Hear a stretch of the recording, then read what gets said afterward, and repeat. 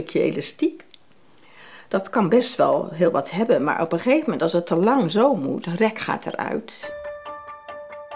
Dat bange jongetje ben ik. En die grote man is eigenlijk de man die de oorlog heeft meegemaakt. Die de angsten en zijn eigen ervaring op de schouders van een kind legt. Hoe kan je met zoveel leuke verhalen altijd aankomen, net alsof er niks gebeurd was? In hoeverre draag ik zelf de steen uit dat verleden?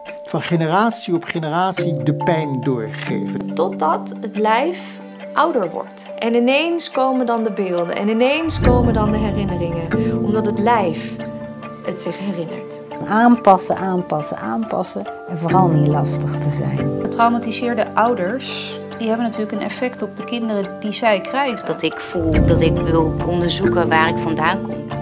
Dan komt de pijn die er wordt toegevoegd, is de pijn van onbegrepen te worden of dat het niet wordt gezien als zo groot als het was. De koffers van mijn ouders zijn decennia lang gesloten gebleven. Wij dragen het uit, wij dragen het mee in ons lichaam, letterlijk. Waarin het verleden tot op de dag van vandaag niet wordt erkend. Zeker niet bij de overheid, want die wil daar liefst alles in het doofpot uh, stoppen.